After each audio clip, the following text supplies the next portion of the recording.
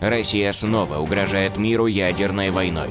Если еще несколько месяцев назад путинский Риббентроп Сергей Лавров утверждал, мол, не верит в возможность Третьей мировой, и, что важно, ядерной войны, теперь он говорит, что риски вполне реальны. Сегодняшняя война России против Украины – прецедент для всего мира. В реки крови рискуют окунуться абсолютно все. Виной всему лишь один человек – больной диктатор, мечтающий превзойти такого же больного фюрера. Но важно понимать, нынешняя, безусловно, жестокая и кровопролитная война далеко не первая, рискующая переродиться в мировую. Мир уже стоял перед угрозой Третьей мировой войны и, кстати, также не без участия Советского Союза, ущербной наследницей которого является Россия. Корейская война 1950-1952 годов прошлого века. Казалось бы, как война в такой далекой Восточной Азии могла поглотить весь мир. Сейчас поймете. Корейская война представляла собой серьезнейшую опасность для человечества. Она закончилась разрушительными потерями для народа и экономик как Северной, так и Южной Кореи. Унесла жизни миллионов людей и опустошила полуостров. С чего же все началось? И как удалось избежать Третьей мировой войны? После капитуляции Японии во Второй мировой в 1945-м Корея фактически разделилась на два государства. В этот период два главных в мире государства США и СССР искали возможность расширения для своего влияния на Азию. Поэтому вопрос Кореи стоял костью в горле обеих держав. Но каждая из стран-гигантов видела свой путь корейского воссоединения без каких-либо компромиссов. США, действуя через ООН, предложили создать временный административный орган в составе США, СССР, Гаминдана, первой политической партии в истории республиканского Китая и Великобритании, полномочия которого распространялись бы на территории всей Кореи. Но в Москве были категорически против Англии и китайской партии, которые могли затмить влияние Союза. Сталин настаивал на формировании двух комиссий – советской на севере Кореи и американской на юге. В итоге Корейский полуостров был окончательно разделен на коммунистический и капиталистический. На полуострове началась гонка вооружений. Пока Советский Союз напичкивал оружием Северную Корею и коммунистический Китай, Соединенные Штаты подписывали с Южной Кореей военное соглашение о взаимной помощи и обороне и тоже начали помогать союзникам оружием. Корейская война для нас сегодня может э, вызывать э, несколько неожиданный интерес после стольких лет. А, по той причине, что это была локальная война а, периода холодной войны между великими державами, когда они непосредственно не вступили между собой в конфликт, который тогда уже был бы Третьей мировой войной, но находились периодически на грани этого. А, то есть тогда Корея оказалась полигоном испытания амбиций, а, военной силы, технологий, вот, э, и находилась достаточно далеко и от Советского Союза, и от Америки, но э, что одна страна, великая держава, что другая, не могла от этого самоустраниться, и в действительности они не хотели самоустраняться, потому что на вот этом полигончике вот целой достаточно большой страны они могли испытать свои возможности и те новые практики, которые Э, возникли в военных конфликтах после Второй мировой войны, э, которая закончилась буквально за пять лет э, до начала Корейской. Точно так же, как сегодня существует конфликт между Россией и цивилизованным сообществом, но он, к сожалению, для нас испытывается и проверяется на территории Украины. Отправной точкой военного решения корейского вопроса стала встреча Сталина, Мао Цзэдуна и Ким Ир Сена в марте 1950 года. Она имела историческое значение. Переговоры фактически стали началом неформального военного союза трех социалистических стран. Экспансия коммунистической Кореи против капиталистической, э, она готовилась два года. Это все согласовывалось а, с Пекином Мао Цзэдун. А, это согласовалось с Москвой и Сталином. Были разные мысли, идеи, проекты. Тем временем ситуация на Корейском полуострове только усугублялась. Стороны активно обменивались взаимными обвинениями в организации вооруженных провокаций на границе, нападениях на пограничников и тому подобное. была провозглашена Корейская Народно-Демократическая Республика, КНДР. В южной части была Республика Корея. А, и, э, значит, нас учили, я учился в Советском Союзе на факультете международных отношений, нас учили, что, ну вот, Южная Корея при поддержке американской военщины напала на север. Да, на самом деле именно коммунисты Северной Кореи начали наступление при поддержке Советского Союза, и они фактически захватили всю Корею. Да? Ну, то есть вообще интересно, как это Южная Корея напала на Северную, это при том, что Северная Корея практически все захватила. Вот. Но объяснялось это очень просто, что это действительно было внезапное нападение. Интересные параллели. Прошло более семи десятков лет, а кремлевская повестка не изменилась ни на йоту. Мы не напали, мы защищаем. Именно так Москва во все времена оправдывала свою агрессивную захватническую политику. Но в Корее-то не было ни русскоязычных, ни православных, ни придуманных нацистов, которых якобы надо победить. Зато были коммунисты. Дело в том, что э, внешняя экспансия э, Москвы или Кремля, э, или вот Российской империи, или Советского Союза, она всегда исходила из двух моментов. Э, достаточно один совершенно объективный – это география. Если ты хочешь распространить свою власть вот куда-то, это должно быть недалеко от твоих границ. Поскольку тогда э, экспансия Москвы соединялась неразрывно с э, пропагандой коммунизма, коммунистических режимов, нового мирового порядка, э, то ясно, что поддерживали однопартийцы. Сейчас это может быть русскоязычное население – Э, православная, там, кто угодно. Военные действия начались в ночь 25 июня 1950 года. Мировое сообщество, едва оправившись от Второй мировой войны, должно было принять молниеносное решение – оставить Корею на съедение коммунистам, либо сохранить едва крепший мировой порядок. В Организации Объединенных Наций начали это обсуждать, и нужно было принимать решения. И решили сформировать войска ООН для защиты Южной Кореи – но в Совете Безопасности было же вето у Советского Союза. И сложилась очень интересная ситуация, потому что тогда, поскольку это было сразу после окончания гражданской войны в Китае в 40, до 49, в 49 году, это место, оно было у Чан Кайши. Советский Союз протестовал против того, чтобы место КНР занимал Чан Кайши. И Советский Союз отказался от участия в заседании Совета Безопасности. И этим воспользовались дипломаты, поскольку Советского Союза не было. Они быстренько провели это решение. И было сформированы войска ООН, тогда коммунистическая угроза, это нарушение безопасности, нарушение тех договоров, тех соглашений, которые были достигнуты после после Второй мировой войны. Нет полноценного демократического режима, полноценного, да, но альтернатива какая? Коммунистическое вторжение и завоевание.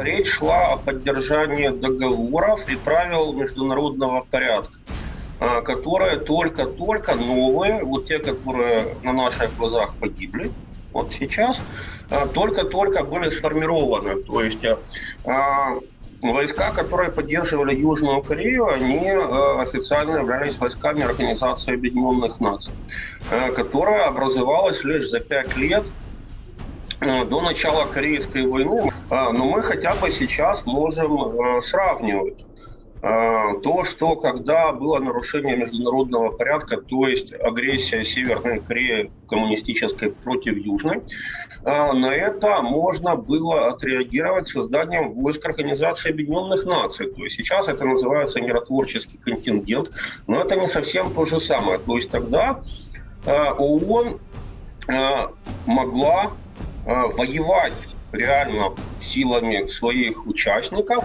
а в Корейской войне в войсках ООН принимало участие 20 стран, включая, например, Турцию и Эфиопию которые находились тогда, в 1950 году, отнюдь не в цветущей какой-то форме.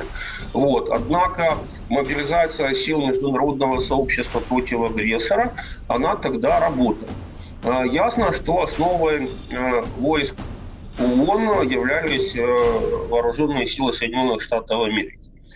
Вот. Однако это была практика, когда агрессор все-таки был остановлен.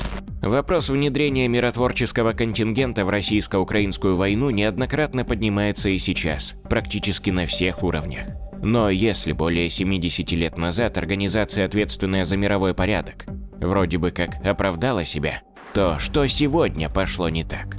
Была определенная выразительная реакция и очень конкретно и военная международного сообщества и Организации Объединенных Наций. То, чего мы э, в тех формах, которые были в 1950 году, э, по отношению к Украине сегодня совершенно не наблюдаем.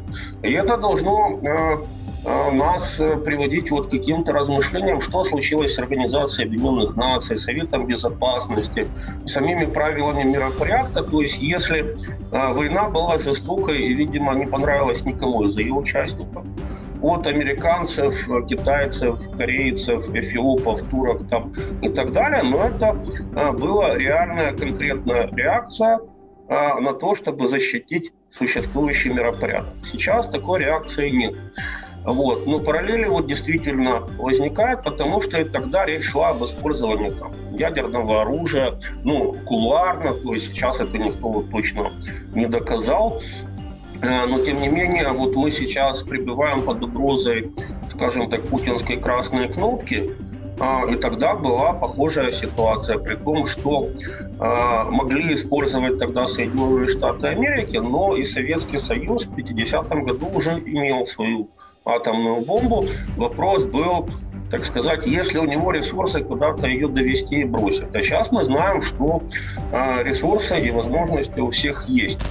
Но давайте вернемся к Корейской войне. На начальном этапе успех сопутствовал северным корейцам, имевшим преимущество в живой силе почти в полтора раза. Они достаточно быстро овладели столицей Южной Кореи Сеулом и буквально за несколько месяцев контролировали около 90% южнокорейской территории. Войска Южной Кореи и пришедшие им на помощь американцы удерживали лишь сравнительно небольшую территорию в районе порта Пусан.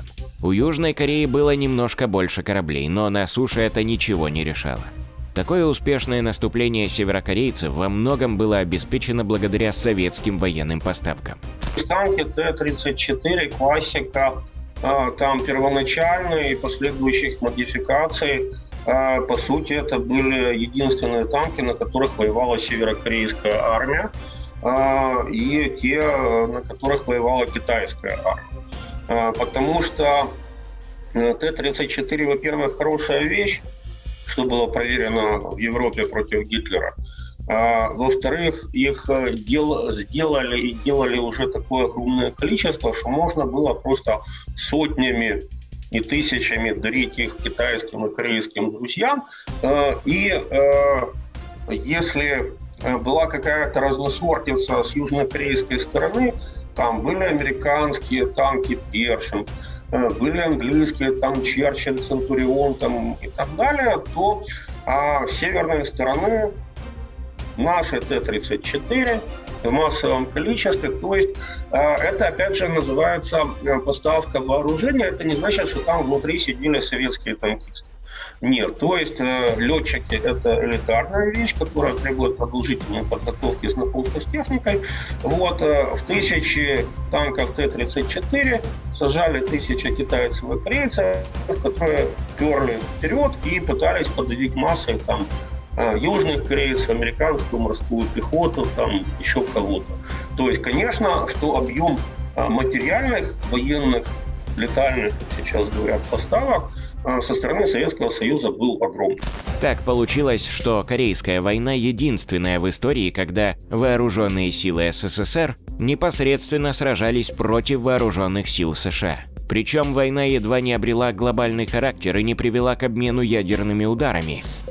Когда Китай вступил в войну, то, э, конечно же, как бы численное превосходство, оно сразу стало на стороне коммунистов и Китая. Численное превосходство, да. Вот. И тогда даже МакАртур, он говорил, что давайте сбросим ядерную сброю. Вот. Но Трумэн сказал нет. После такого успешного наступления социалистической коалиции Северной Кореи, КНР и СССР в игру вступили силы ООН с преобладающим количеством американских войск – около полумиллиона военных. Конечно, кроме армии США, под флагом ООН воевали до 600 тысяч южнокорейских военнослужащих. Части и подразделения Канады, Великобритании, Филиппин, Турции, Нидерландов, Австралии, Таиланда, Греции, Франции, Бельгии и многих других стран общей численностью чуть больше 1 миллиона человек. Все они внесли коренные изменения в ход военных действий. Там действительно было много стран, но основной контингент был американский во главе с героем Второй мировой войны МакАртуром. И э, это была очень кровавая война, очень непростая операция, но в конечном счете удалось переломить ход войны, и тогда э, и фактически войска ООН во главе с американским генералом, они вышли на, э, на границу Кореи с Китаем. То есть они практически полностью освободили Корею от коммунистов. Ну и тут с гор спустились китайские добровольцы. Ну, добровольцы, конечно, в кавычках, потому что это были, это были э, части КНР коммунистической, э, это была Красная армия Китая, и при поддержке Советского Союза и КНР, значит, опять им удалось изменить ситуацию и выйти на ту самую границу, которая была до 50 -го года, да, до нападения, на 38-ю параллель. То есть это кровавейшая война, э, она фактически ни к чему не привела. Она восстановила статус-кво. Да, но вот Западу удалось э, отстоять Южную Корею. Вот еще одна параллель. Тактика «их там нет» применялась Кремлем всегда. И в 1950-м в Корее, и в 90-х в Приднестровье, в грузинской Абхазии и Осетии, а в 2014 году на украинском Донбассе и в Крыму. Неожиданное появление на Корейском полуострове 720 тысяч китайских добровольцев в одну ночь или день в одни сутки – когда Мао Цзэдун бросил регулярную китайскую армию на Корейский полуостров, но придал им статус добробата. Добробат на 720 тысяч человек, у которого есть танки, авиация, там что угодно. А Советский Союз действовал осторожно. А, Сталин никогда не был дураком. А, и экспериментируя где-то вот на территории Кореи, мы можем сказать, что с советской стороны было где-то 26 или 30 тысяч людей, а, у которых была просто специфическая функция. Если китайцы и корейцы это были мясо, ну, туда полмиллиона, сюда полмиллиона. Ну, какая разница? А, значит, вот эти 26 тысяч человек, это были военные эксперты, советники, которые до этого два года работали в Северной Корее. А, в начале конфликта их вернули назад а, в Советский Союз. А, а потом опять отправили в Корею в статусе журналистов, журналисты, э, корреспондентов ТАСС, э, то есть э, телеграфного агентства Советского Союза. В числе таких людей был, например, Иван Кожедук, самый выдающийся украинский летчик Второй мировой войны, многочисленный герой Советского Союза, который командовал Северной Кореей авиационной дивизией советской, Э, на самых передовых самолетах советских МиГ-15, реактивных, то есть уже пропеллера не было. Э, и э, советские летчики имели большой успех.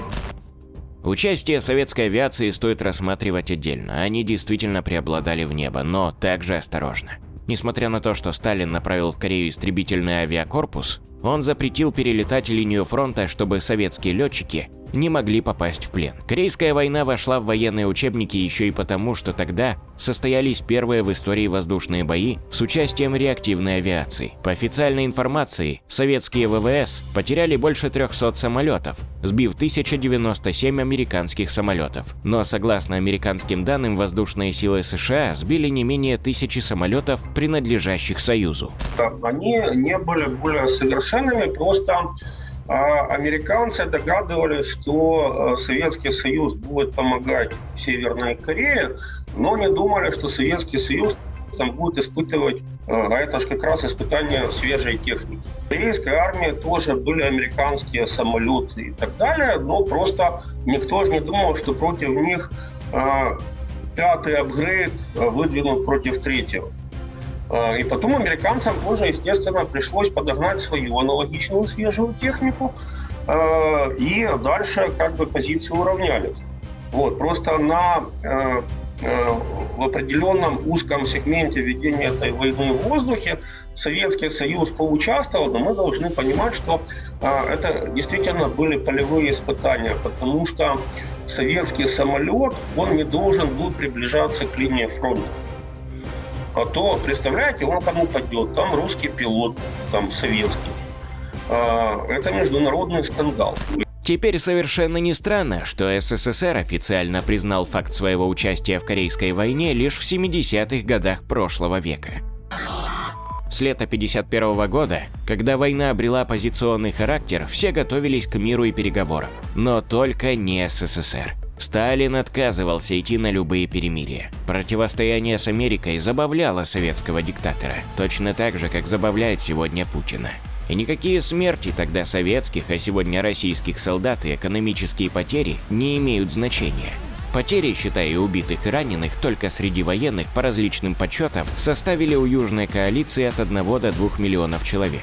У Северной – от 2 до 3 миллионов. Информации о потерях среди мирного гражданского населения нет. Официально война закончилась в 1953 с того, с чего и началась. Но уже больше 70 лет ситуация в регионе сравнима с вулканом, при малейшем сотрясении которого, несомненно, произойдет извержение.